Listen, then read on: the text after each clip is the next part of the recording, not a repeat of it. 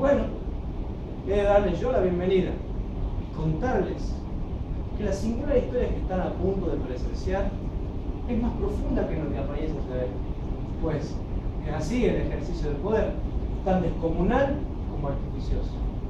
En este caso, la dama ha dado por imponer su voluntad de hierro a fuerza de apariencias y artificios sin más mérito que su presencia. La historia que hoy nos reúne nos ha de estremecer, nos invitará a la sonrisa y al final, sobre vuestras mejillas cual rodarán las lágrimas de la injusticia en este mundo hostil, que no es otra cosa que la representación material de nuestros febriles sueños. ¡Ey! ¿Qué haces? ¿Estás loquito vos? ¿Sí? Séntate ahí. Escuchame una cosa. ¿Qué te haces, loca? Si tenés más yuyo que el Martín Fierro, vamos.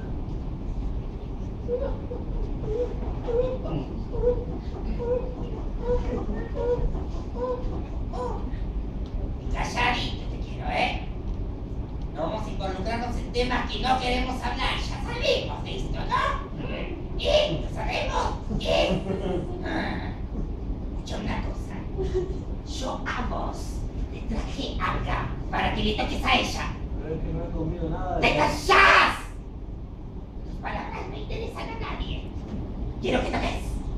Quiero que tu música invada toda esta estancia. Quiero que tus notas iluminen esta jornada tan maravillosa. Mira. Mira, bellaco. Mira toda esta gente que ha venido hoy. Son tiempos de alegría.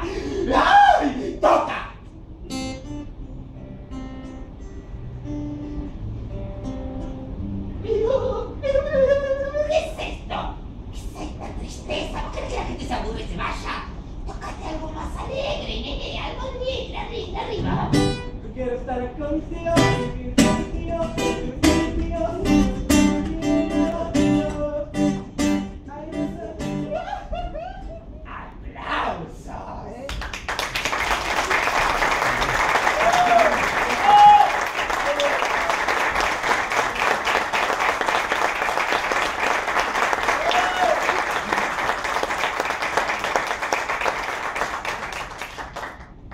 tiempo que ganarías limpiando si no tuvieras que decir tantos nombres. Me apena por vos, Siegfried. No, pero es un honor para mí, ilustrísima. Señora Mimi, ¿cuántas veces te dije que en privado no me llames ilustrísima? Me hace sentir vieja, gorda. No, pero ilustrísima, pero, pero es que eres sordo, Sigfrido. Mimi. Así como me llamaba mi santa madre y el desdichado de Reginaldo. Mimi. En privado, Mimi. Bueno, pero eso quiero decirle, no estamos en privado, ilustrísima Pero, Marta. pero, pero por favor, parece que lo hicieras a propósito, Servil Ladino. Ya sé cómo me llamo. Es que, señora, eh, yo quiero decirle que ha llegado la gente y son tiempos de las audiencias. ¿Por qué no has empezado por ahí? Ayúdame a acicalarme. Ayuda con lo que me entusiasman estas audiencias, por favor. Mi vida es tan aburrida desde que el desdichado Reginaldo se despidió de nosotros. ¿Aún lo recuerdas, Sigfrido? Sí, señora. Ay, no se vale. ¡Qué señora, qué señora, mi señora! Pero parece que no lo entendieras. ¿Y que no te has dado cuenta en todos estos años que a muy pocas personas les permito llamarme Mimi? ¿Por qué no valoras ese enorme y generoso acto de utilidad de mi parte? ¿Qué es lo que pasa con vos, Sigfrido?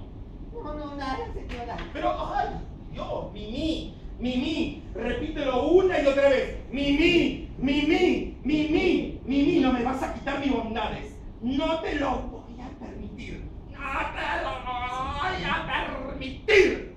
Yo soy humilde. Infinitamente humilde. No me vas a quitar mis bondades con tu egoísmo de llamarme Argenta Graciela. De nombre tan horrible. ¿Por qué me querés torturar así? ¿Por cuánto? ¿Te conté que tengo antepasado francés? No. Ayúdame a acicalarme. No, no me contó, señora. Sí, te conté. No es necesario que me mientas, servir en ambicioso.